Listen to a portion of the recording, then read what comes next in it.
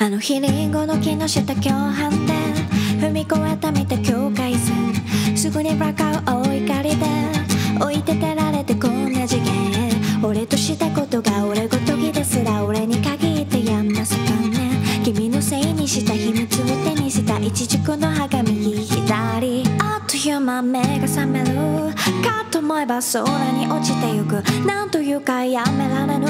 もう一かじり。I can't fall in fall in ラサン上に落ちていく。待ってるのに今 fall in fall in 二人ぼっち気づかない。カーテンコールにも Yeah yeah yeah yeah yeah どこまでも。Yeah yeah yeah yeah yeah 好み任せて。いつの間に傷が埋まって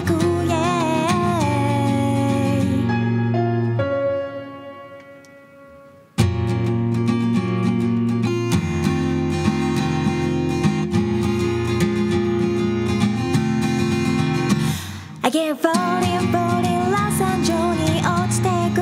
待ってるのに今 falling falling 二人ぼっち気づかない。カテンコーにも Yeah yeah yeah yeah yeah どこまでも Yeah yeah yeah yeah yeah 好み任せていつの間に傷が埋まってく Yeah はいということでね聞いていただきありがとうございます。このね夜更かしの歌っていうアニメなんですけど私「ダガスカシ」っていうこの原作者の方琴山さんがすごく好きでなんかもうめっちゃ絵とかもすごい好きだし話も好きだし